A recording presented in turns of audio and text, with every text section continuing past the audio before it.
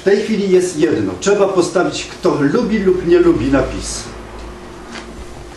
Bo nie ma żadnej innego ugrupowania, które by mogło jeszcze co się przydać do tego interesu. Pogadamy.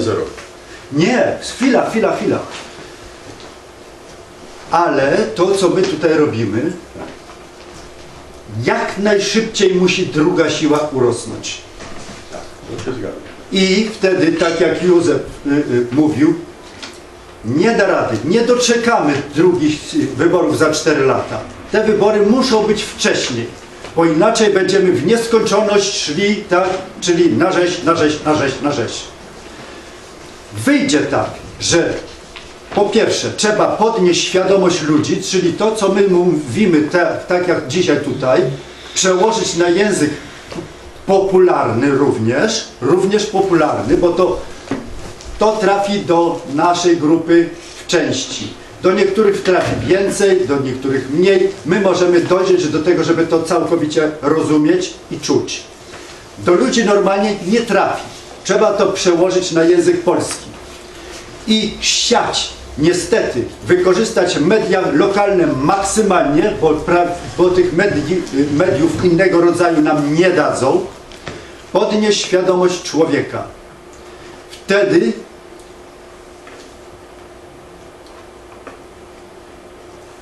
Dlaczego powiedziałem o PiSie? Dlatego, że PiS i tak będzie robił reformy. Tyle tylko, że PiS możemy porównać jakby do dziecka, które jeszcze dopiero się rozwija. To jest. Ten też jest, ale musiałbym go grać. Pracujemy nad tym, żebyśmy mieli z tego dziecka szybko człowieka dojrzałego. Może to wyjdzie, może nie wyjdzie. Dlatego to nowe ugrupowanie jest bezwzględnie potrzebne i to jak najszybciej. Ale trudno mówić, że minie 4 lata, 8 lat i tak jak Kaczyński swego czasu powiedział, przegraliśmy, ale następnym razem wygramy. To szlak nas weźmie, bo myślimy sobie, że już dawno będziemy wzięli. Tyle na początek. Ale wygrać, wygramy wtedy, jeżeli uwierzymy, że wygramy. Jeżeli można, chciałbym nawiązać do tego, co Pan powiedział, że trzeba coś robić, żeby wygrać. Otóż chcę otworzyć budowanie od podstaw szkół zawodowych. I w tym zakresie już dwa lata temu byłem z panem Henrykiem w konsulacie niemieckim, gdzie akurat pani y, wicekonsul Urszula Elbers nas przyjęła kawą, ciasteczkami, grzecznie się rozmawiało.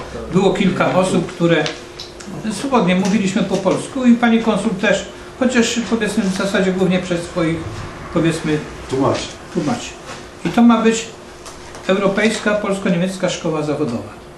Dlaczego polska-niemiecka? Dlatego, że my w swoim programie szkolnym przez instytuty naukowe polskie, powiedzmy, no, polskich wydawnictw naukowych nie, nie wydano do szkół zawodowych przez ostatnie 30 lat ani jednej książki. Mamy dalej Żuka, Żuka, Warszawę, Syrenę, powiedzmy, dla szkół samochodowych. I to samo jest w produkcji, powiedzmy, obróbki metali i tak dalej. Nie ma żadnego komputera, ani programu, jak się to steruje, ani nic. Wobec tego bez pomocy dla szkół zawodowych z zewnątrz, z Francji, z Niemiec, nawet z Czech, ta szkoła będzie przestarzała i będzie, będzie ktoś mógł sobie tylko ewentualnie kosę klepać. Ale i to nie jest taka prosta sprawa. Dlatego myślę tak, trzeba, trzeba akurat, y, no zbieram jak najwięcej mądrych ludzi, żeby można było tą szkołę otworzyć. Naprzód jedną we Wrocławiu. Niech się ona pokaże. Ze strony niemieckiej mamy zapewnioną powiedzmy pomoc, to znaczy się zapłacą nam za naukę języka niemieckiego, zapłacą nam nawet za nauczyciela do niemieckiego, zorganizują nam praktyki w Niemczech, nasza młodzież dostanie tyle samo pieniędzy, co młodzież niemiecka. Można powiedzieć, że szkolimy dla, dla Niemców. Nieprawda, szkolimy dla siebie, żeby ten człowiek miał możliwość zorganizowania sobie pracy, dostać tą pracę i żeby mógł założyć rodzinę. Ale y, z racji tego, że tu będzie europejska polsko-niemiecka szkoła zawodowa, to tu chcemy robić na terenie naszym, powiedzmy, takie szkoły z agroturystyką, że uczniowie będą uczyli się podkuć konia, y, zrobić wino, y, upiec chleb. Dziewczyny będą wypieki robić, różne przetwory, y, robić powiedzmy polską żywność, produkować i ta młodzież, która przyjedzie z zachodu, musi to jeść. No w ramach powiedzmy normalnej wymiany, ale będziemy ich paśli bigosami, pierogami, kotletami i tak dalej. Że jak pojedzie do domu z powrotem, zechce kupić te pierogi, zechce kupić, no to znajdą się ludzie, którzy tam wywiozą. A może się ewentualnie ktoś tutaj przyprowadzi, bo przecież wymiana młodzieży to będzie w ten sposób, że, że część może przy, przy, przemieści się tu, część tam. To jest prawda, ale jest jeszcze drugi aspekt ważniejszy od tego wszystkiego. Niemcy szykują się na Syberię. Ludy syberyjskie Polskę przyjmą z akceptacją polskich inżynierów. I my musimy tych inżynierów szkolić.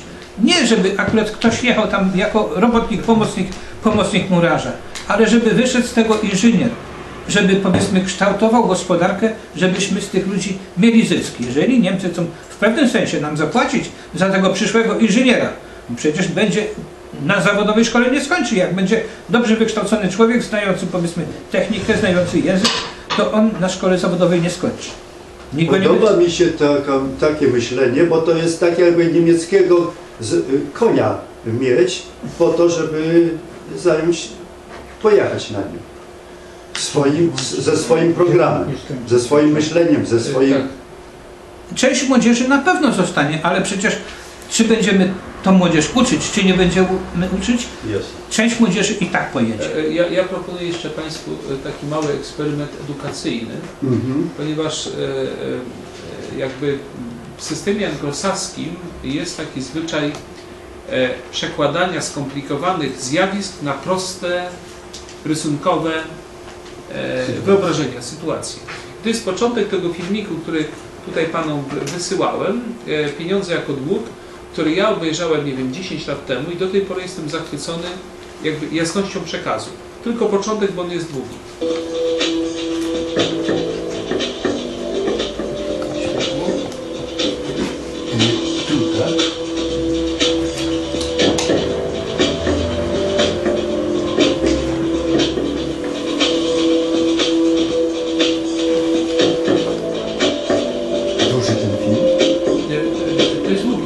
Ale nie, nie, po ilości... 48 minut. Nie, A to nie wiem, bo to trzeba było sprawdzić. a, a dasz, nagrasz? Ja Ci wyślę e, YouTube. YouTube. A muszę ściągać. Tutaj się nie da, bo to najpierw trzeba napisać. Znaczy może się da, ale czas. Oglądnie wtedy. A to jest...